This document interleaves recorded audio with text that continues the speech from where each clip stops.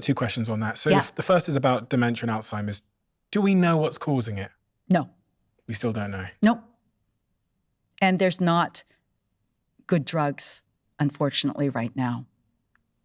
There's a lot of links to lifestyle choices, though, right? Yes, absolutely.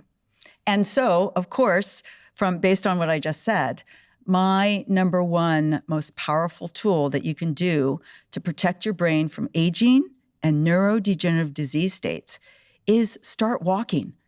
Why do I start with that? Because everybody can walk. You don't need to buy any new fitness outfits. Just go out and walk more. And then they say, oh, well, do I have to become a marathon runner? That could help too.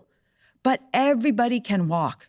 And from that study that I mentioned in the 65 year old, 30% reduction in um, the probability of getting Alzheimer's with just walking.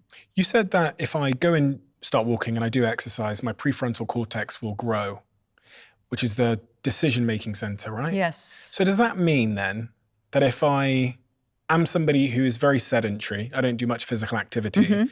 that my decision making will be worse compared to what it could be with the same person if they were active? Yes. I mean, that there is that potential.